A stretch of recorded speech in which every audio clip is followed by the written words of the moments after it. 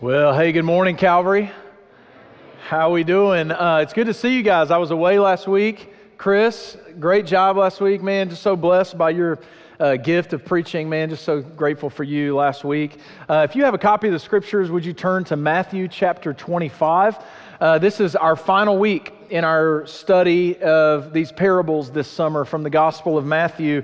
And I don't know about you, but I'm going to miss hearing Paul Reed's booming voice on that video, hyping me up every uh, Sunday right before I get ready to preach. But uh, I, I, it's been a great journey to walk through the parables the last several weeks. Um, I do want to, I mean, just to kind of let you know where we're headed next week. I'm super excited about the new teaching series that's going to be starting next week. Um, you guys know that verse in Hebrews where it says, Since we are surrounded by the great cloud of witnesses, let us run the race with endurance that Christ has set out before us.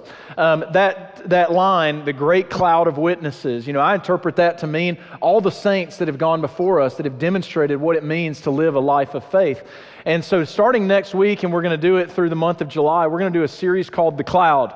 Uh, referring to the cloud of witnesses. And each week, we're going to be looking at a different figure from church history and learning what their lives can teach us uh, about what it means to follow Jesus. And so next week, we're going to be looking at Charles Spurgeon, uh, at his life, and then we're going to have several other figures uh, throughout that series. And so uh, if you guys know me, you know I'm a church history nerd, so you're going to get to watch me nerd out for the next month. And so we'll do it all together.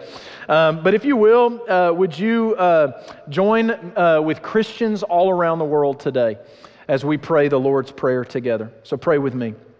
Our Father, which art in heaven, hallowed be thy name. Thy kingdom come, thy will be done in earth as it is in heaven. Give us this day our daily bread, and forgive us our debts as we forgive our debtors. And lead us not into temptation, but deliver us from evil. For thine is the kingdom and the power and the glory forever. Amen. Well, um, when uh, my family and I, when we used to live in New York City, um, I was involved in a running club. So, I mean, I love running. As you can tell, I don't lift weights, I run. That's what I do. Um, but running clubs are a really important part of the New York City social scene among young people everybody's involved in a running club and so uh, that, uh, we had on my team we had a wide range of different types of people and what this meant was there were a number of very impressive people uh, on our running club. Uh, celebrities that you would know the names of, CEOs, authors, journalists, famous runners. I mean, there were all sorts of people that were important, significant people. And so, what would happen is at a lot of our practices, a lot of our team social functions, is you would see a whole lot of people fawning over these celebrities and tripping over themselves, trying to get in the presence of these very important people. And so you just saw a lot of that. People wanted to be around these important people. In contrast, I remember on our team there was also a young man who had some developmental and social disabilities. And this young man, he wasn't a celebrity, he was just a guy with some disabilities. But he was so kind and he always wanted to make friends so badly that he was always at practice, he was always at every team function. He would approach every person hoping that they would befriend him. But, you know, because of his developmental disabilities, he often misunderstood social cues. Um, and quite frankly, he was often awkward. And uh, I would always observe, okay? I would always pay attention. And I would notice that there were people who would ignore him. There were people that would dismiss him out of hand. There were people that were just flat out mean to him at times. There were people that were always doing the thing where they might give him some attention, but they're always looking over his shoulder, wondering if one of the more important people might be around the corner. And they're always hoping that they might, uh, that he might, they were, always afraid that he might ruin their chance of gaining the attention uh, of someone more important. And as most of you probably know by now, my son, who was sitting on the front row just a moment ago, has some significant developmental disabilities himself. And so it matters to me how people like this are treated. It matters deeply to me. And so I would take mental note of how people treated this young man. And it, I, I noticed the people who were kind toward him. I noticed people who were dismissive or cold toward him.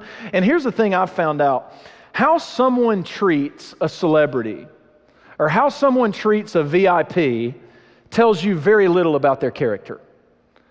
But how someone treats the disabled and the awkward and the outcast, that tells you everything about their character. And here's the thing I know you're not supposed to do this, but I judged, okay? I judge people, right?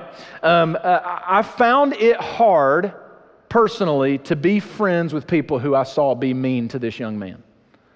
On the other hand, when I saw someone be kind to this young man, they dignify him, encourage him, take photos with him. He always had his camera, he was always taking photos. Um, I said, when I saw people in, uh, spending time with this young man, I said, those are my people. Those are the people I want to be around, the people that will love this man. Listen, because uh, the thing is, because my son has special needs, uh, my heart is intertwined with people with disabilities. It's just how it is. So, what that means is when you're mean toward them, it feels like you're mean to my son, which feels like you're being mean to me.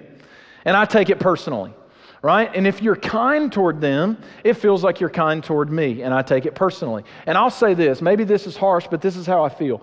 You cannot be friends with me and mistreat my son or people like him, period. You can't. How you treat the disabled says a lot to me about the kind of person you are and the kind of person I want to be friends with. And you go, oh, that seems harsh. Well, buckle up. Jesus is about to be even harsher. In our passage today in Matthew chapter 25, Jesus says that his heart is so linked with the needy and the vulnerable that when you show compassion toward them, you are directly showing compassion to Jesus himself. And likewise, Jesus says, when you ignore or mistreat the poor and the needy, Jesus says you are mistreating him. And Jesus says there's coming a day of judgment where all of us will stand before him.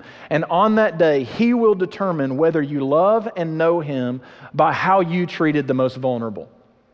Jesus will say you cannot be friends with him while mistreating and ignoring the vulnerable. This is what he says in this parable, the parable of the sheep and the goats. Says Jesus says when the son of man comes in his glory and all the angels with him, he will then sit on his glorious throne, and before him will be gathered all the nations, and he will separate people one from another as a shepherd separates the sheep from the goats. And he will place the sheep on his right, but the goats on the left. Then the king will say to those on his right, Come, you who are blessed by my Father, inherit the kingdom prepared for you from the foundation of the world. For I was hungry, and you gave me food. I was thirsty and you gave me drink. I was a stranger and you welcomed me. I was naked and you clothed me. I was sick and you visited me. I was in prison and you came to me. And then the righteous will answer him, saying, Lord, when did we see you hungry and feed you, or thirsty and give you a drink? And when did we see you a stranger and welcome you, or naked and clothe you? And when did we see you sick or in prison and visit you? And the king will answer them, Truly I say to you, as you did, to, did it to one of the least of these my brothers, you did it also to me. And then he will say to those on his left, He'll say, Depart from me, you cursed, into the eternal fire prepared for the devil and his angels. For I was hungry, and you gave me no food. I was thirsty, and you gave me no drink. I was a stranger, and you did not welcome me. Naked, and you did not clothe me. Sick and in prison, and you did not visit me. Then they will also answer, saying, Lord, when did we see you hungry, or thirsty, or a stranger, or naked, or sick, or in prison, and not minister to you? He will answer them, saying, Truly I say to you, as you did not do it to the least of these, you did not do it to me. And these will go away into eternal punishment, but the righteous will go into eternal life. Those who have ears to hear, let us hear. So, this is a parable about judgment. Jesus begins, he pulls no punches. he begins, he says, The Son of Man will come in all of his glory. Now, who's he referring to? He's referring to himself there. And he's saying, I will return and I will judge. And he's very direct in this moment about who he is. He's very direct about the type of authority he holds, and he's very direct about the type of judgment he will bring. He says, Look, there's coming a day at the end of it all, I will return, and the word he uses is in glory. I'll be surrounded, he says, by angels. He will sit on a glorious throne. All nations will gather before him. He will establish his kingdom, and he and he alone will determine who are the sheep and who are the goats, and he will separate them. Some will go into his kingdom, and some will be cast out forever. And on that day, when we stand before him, there will be no more debates, there'll be no more lectures, no more votes about who Jesus is or what kind of kingdom he should establish.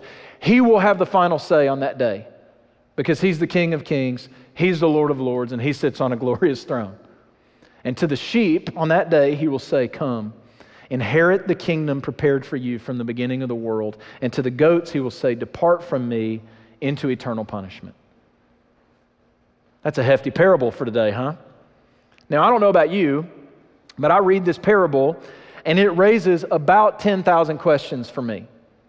And I'm not alone here because this parable has raised countless questions over the centuries uh, among Bible teachers and scholars. It raises questions like, well, who exactly does Jesus mean by the least of these? I mean, because he says in there, he says, it's these brothers of mine. And so people go, does that mean all the poor and needy? Or is that just poor Christians specifically? Is it the Jewish people? Is it referring to persecuted Christians? Is it referring to missionaries? People ask questions, who are the least of these? And then questions of like, well, where does this fit in the timeline of the end of the world? And listen, all of these are probably valid interpretive questions to ask. But when I read the Bible, especially the parables, I think it is most wise for us to take the simplest interpretation that the text gives us. And when I read this parable, and there's all kinds of questions I could ask, but at the end of the day, when I read this parable, here is what I see Jesus telling us We will stand before him one day. And his question on that day for each of us will be this Have you loved the Lord your God with all your heart, soul, mind, and strength? And have you loved your neighbor as yourself? And for those for whom the answer is yes, he will say, Welcome home. And for those for whom the answer is no, he will say, I never knew you, depart from me. Now, we ought to pay attention here to these words of Jesus. And I want us to look at the difference between the sheep's, the sheep and the goats. And the first thing we see from the sheep is that sheep serve others from a transformed heart. See, the king says to the sheep in this parable, he says, Come, you who are blessed by my Father, inherit the kingdom prepared for you from the foundation of the world. For I was hungry and you gave me food. I was thirsty and you gave me drink. I was a stranger and you welcomed me. I was naked and you clothed me. I was sick and you visited me. I was in prison and you came to me. Jesus says the sheep, the righteous, those who inherit the kingdom of heaven, are those who cared for the hungry, the thirsty, the stranger, the naked, the sick, and the imprisoned. Martin of Tours, cool name, huh? Was a fourth century French bishop. And he was known for his care for the poor. The Catholic Church sainted him because of his care for the poor. And his concern for the poor um, began when he was poor himself. He was a soldier coming home from battle. He had very little possessions, no money. And one day he was entering into the city and he came across a beggar who was begging.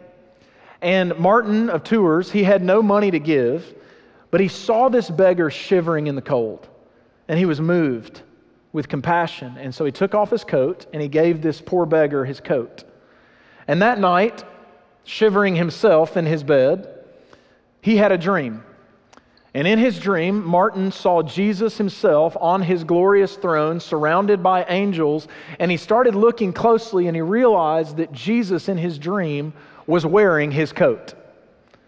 And, the, and one of the angels around the throne said to Jesus, said, Lord, why are you wearing that nasty old cloak? To which Jesus replied with a smile on his face, My servant Martin gave it to me. And this dream so moved Martin that he gave the rest of his life to serving the poor and the needy. See, Jesus says, What you did to the least of these, you've done unto me. And I just want to take a moment right now to just speak a blessing, speak encouragement over those of you in this room, those of you in our church who regularly and routinely serve the least of these in our church and in our community. So I just want to speak a blessing. May God bless those of you who are fostering or adopting kids in need. May God bless those of you who are working for or with nonprofits to serve kids and families. I think of Freedom Farms, Tuscaloosa Angels, Alabama Baptist Children's Home.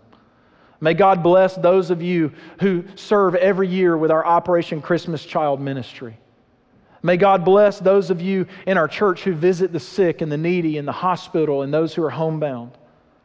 May God bless the men in our church who build ramps every week for the disabled all over our county. May God bless those of you in our church who pray and support and encourage our missionaries that we've scattered throughout the world. May God bless those of you who serve refugees and immigrants and international students in our church and in our community through ministries like ESL, English as Second Language, or International Connect. May God bless those of you who serve in our prisons. May God bless the team of people here at Calvary who every single Sunday meet my wife in the parking lot to help my son into the building and then sit with him and feed him snacks so that he can participate in worship with us. May God bless you. May God bless those of you who work with our multiple abilities choir, our choir made up of people with disabilities. May God bless those of you in this room who none of us will ever know it, but you are quietly paying the bills or providing services or care for church members in need.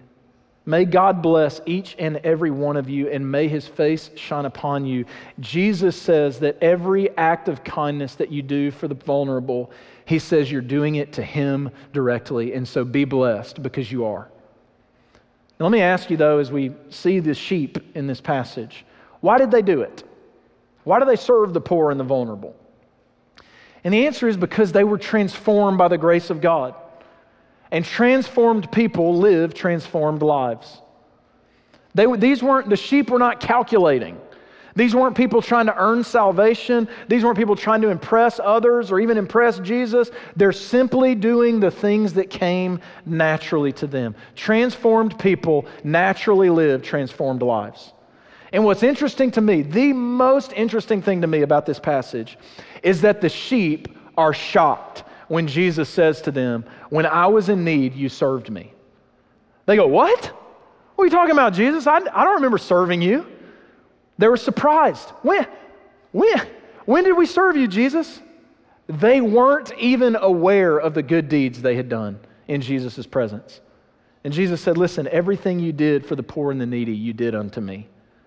And this is how I know this passage is not teaching a works based salvation. See, on first blush, you read this passage and you go, Well, it sure seems to me like entrance into the kingdom of heaven is determined by how you treat the poor. If you treat the poor well, you're saved. If you treat the poor badly, you're not saved. But the scriptures repeatedly tell us how are we saved? We're saved by grace through faith, not by works. Because if we were saved by works, we'd all be boasting and bragging about it. What the surprise of the sheep reveals to me that they weren't trying to earn their salvation. They didn't even know Jesus was paying attention. They didn't know that salvation was at stake there. They served the poor because their hearts had already been transformed by God.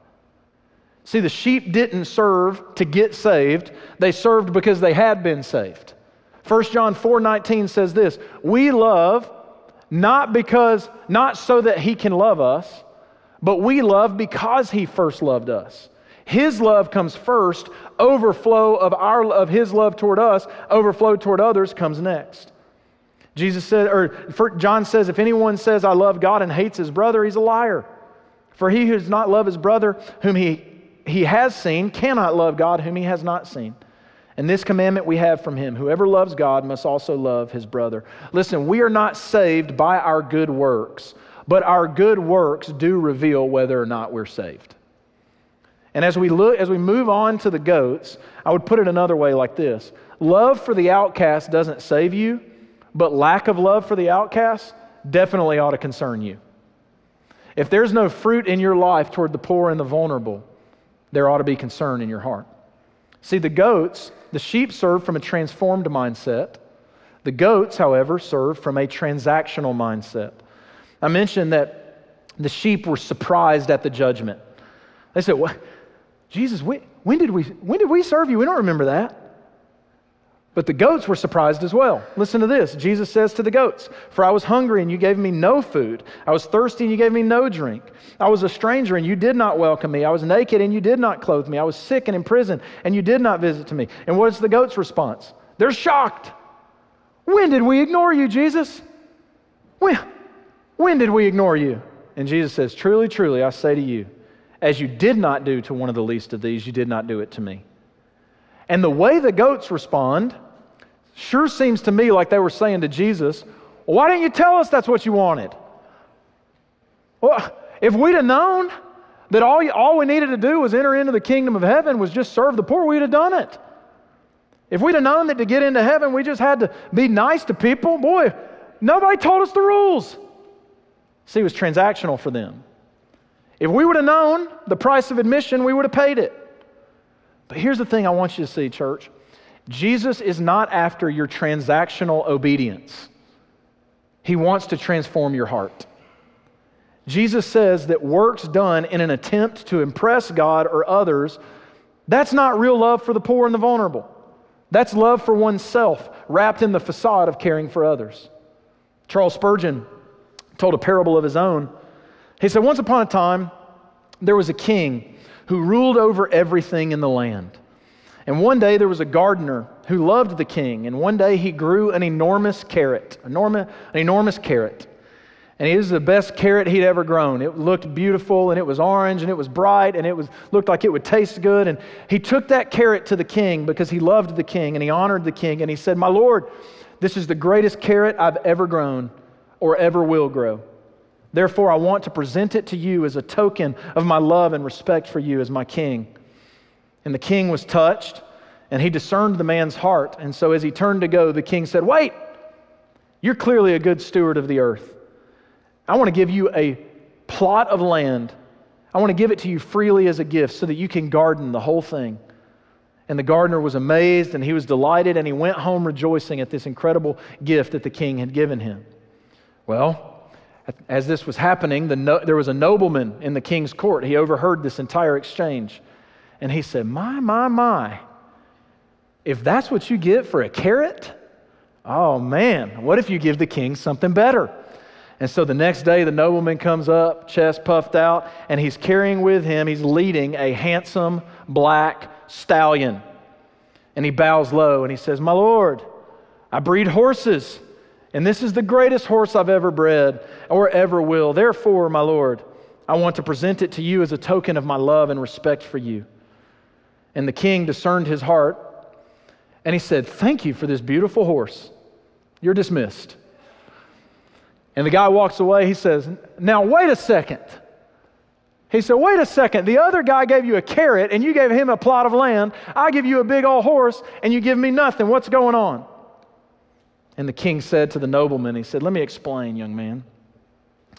That gardener was giving me the carrot, but you were giving yourself the horse. See, that's the transactional mindset. If I do these things, God will owe me. If I do this, God must give me that. If I act this way, then God will be in my debt. God, don't have you seen all the good things I've done? Have you seen all the great things that I've been up to? Therefore, you got to give me all the great things you have. But Jesus tells us over and over and over again throughout the Gospels, He is not after transactional obedience. He wants to transform your heart. And therein lies the difference between the sheep and the goats. The difference is motivation.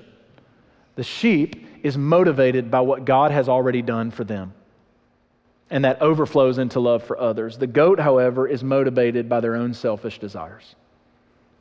The king, it says, will answer the sheep Truly I say to you, as you did to one of the least of these, my brothers, you did it to me.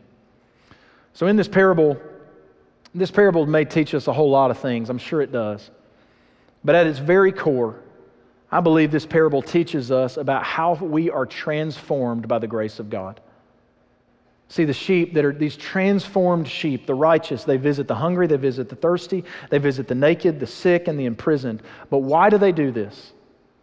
because God has first done it for them. See, the king in this parable, it's obvious, it's Jesus. The judge in this parable, it's obvious, it's Jesus. And when we think of kings and judges, we think of people off distant somewhere, don't we? But that's not the kind of king or judge that Jesus is. Jesus is a king that comes near. Jesus, uh, who has been with the Father for all of eternity, did not count equality with God a thing to be grasped, but he emptied himself Jesus left the throne of heaven and he came to us. And what did he find when he found us? We were hungry. And what did he give us? He said, I am the bread of life. And he gave us the food of his broken body. He came and he found us and we were thirsty. And he said, I'm the living water. And he poured out the wine of his blood so that we would never thirst again. He came and he found us naked and he clothed us, the scriptures say, with the robes of his righteousness. He came and he found us sick with sin and he laid down his life on the cross to heal us. He came and He found us imprisoned by our guilt and our shame, and He loosened and unlocked our chains and He set us free. And He did all of this out of His mercy and out of His kindness and out of His grace, not because we deserved it, but because He's good and because He's kind. And when you have received this grace, it ought to transform your heart from the inside out. And that grace in your heart ought to overflow from your heart into works of justice and kindness and mercy and righteousness. Not as means to earn God's salvation, but as ways to demonstrate what God has already done to, to you, for you in Christ. I heard one teacher say, It's not that the sheep in the parable recognize Jesus in the least of these, it's that they recognize themselves. When you come across the least of these, you ought to see yourself. You were hungry, and Jesus fed you. You were naked, and Jesus clothed you. You were sick, and Jesus has healed you. You were a prisoner of your own sin and shame and guilt, and Jesus has set you free. See, this is the good news of the gospel for anyone who has ears to hear. That Jesus has come, He has served you the poor and the vulnerable and the needy when you least deserved it. And as because he has served you, gratitude wells up and you are now motivated to serve others. Listen, we're not saved by good works. But if you've been saved by Jesus, good works flow naturally. They ought to. I want to take a moment. I want to invite our deacons forward. We're going to take the Lord's Supper. And I think this passage just leads into the Lord's Supper so well because I think of Jesus says he's the bread of life. When we were hungry, he came and he, his body was broken so that we could be fed. The scriptures say that we were thirsty. Think of the woman at the well. And yet he came, he's the living water, and he gave us something to drink. And what has he given us? To feed us, he's given his, us his broken body which as we consume, we are made whole. And He's given us His poured out blood, which as we drink, we are, our sins are forgiven. And so today, as we take communion, I want this to be an opportunity for us to remember the grace that God has shown us in Christ. His body was broken and His blood was poured out so that you and I could be made whole. And as we take the bread and the cup today, I want us to take a moment to let it sit within us. I want us to, each of you, to, to, to take in the grace of God. But then as we leave this place today, we take the grace of God with us to the world around us. So would you please pray with me as I pray over the Lord's Supper for us?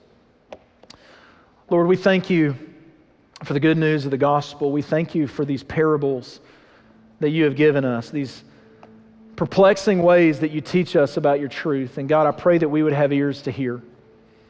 And Lord, as we take the bread and the cup in just a moment, I pray that we use this as an opportunity to remember the love you have shown us on the cross and the power that you've given us through your resurrection.